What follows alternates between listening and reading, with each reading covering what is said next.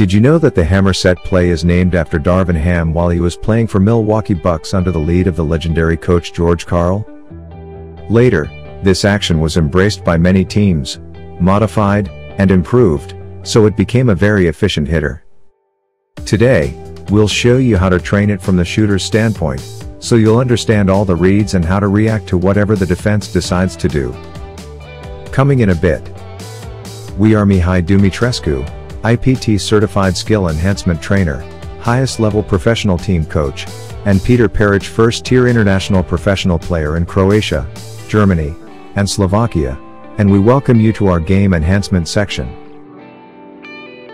The hammer is the action created after a step-up pick and roll or a baseline penetration which leads to a pass towards the weak side corner, where the player in the corner, should be open, after a flare or step-up screen.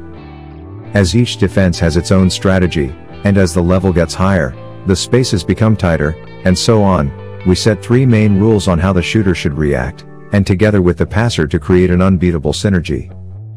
The first option is the most common, as the ball handler penetrates the baseline, the shooter should slash to the corner. To simulate the hammer screen, Pero will start in the corner, and as the penetration occurs, he will have to go uphill on the arch, touch the cone purposely set there, and come back for the shot. The rule is that as soon as the ball handler touches the paint, Pero should be in the corner for the shot. This is the case when the defense manages to close the baseline for the ball handler. If the guard can penetrate deeper into the paint, the rule is that the shooter must move upwards to receive the ball for his shot. Of course, in that area might be the screener, but he will react also in some ways to all of this movement. However, it is not the goal of the video to teach the team game, as this will be easier for any coach, as soon as the players train and master the individual game.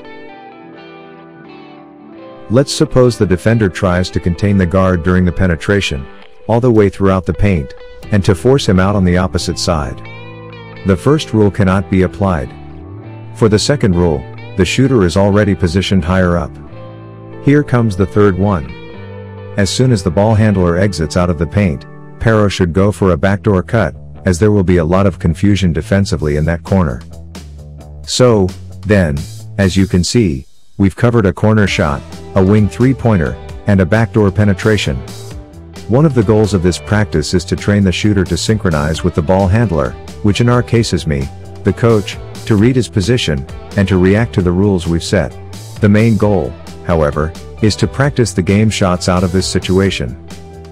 Needless to remind you that you should go both sides, right and left. As you go through most of the situations that can occur in the game, and you can score consistently out of them, your team game will become much easier, and you'll be able to integrate into any system.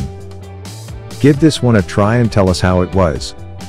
If you have any questions hit us with a comment, and you may want to check those videos up here too, as we are sure you'll love them. Hope you've enjoyed this one, and if you did, please give us a thumb up. Also, don't forget to subscribe, and hit that notification bell, so you'll not miss anything.